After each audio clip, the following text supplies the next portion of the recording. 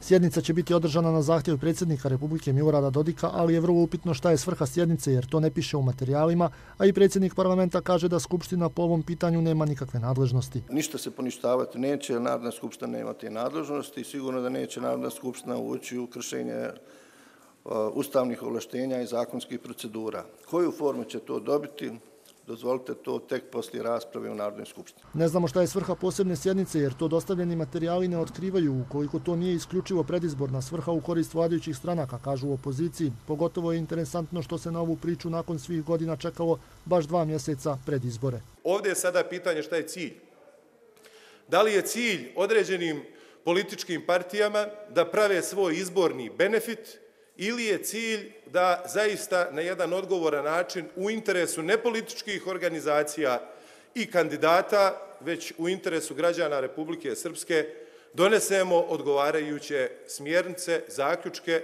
O izvještaju komisije treba pričati jer je prošlo 15 godina od izvještaja i vrlo je moguće da ima novih činjenica koje nisu bile aktuelne u vrijeme pisanja izvještaja, kažu u opoziciji, ali je nejasno zašto o izvještaju prije vlade koja je formirala komisiju i usvojila izvještaj, o svemu raspravlja Skupština. Poslanici opozicije tražili su da predsjednik prvo zatraži od vlade da održi posebnu sjednicu, razmotri sva pitanja, nove činjenice, zauzme stav i onda informaciju ukoliko je potrebno dostavi Skupštini. To nije prihvaćeno. Neosporno je da po isteku 15 godina sigurno mnoge, mnoge stvari koje su prihvaćene kao činjenice u izvještaju danas ne stoje. I niko vladi nije branio, jer je to u njenoj nadležnosti, da Dom za ljudska prava, koji je nasljednik, u stvari Vijeća za ljudska prava pri Ustavnom sudu Bosne i Hercegovine, koji je nasljednik Suda za ljudska prava, koji je po Daytonu prestao da vrši mandat 2003. godine 31.12.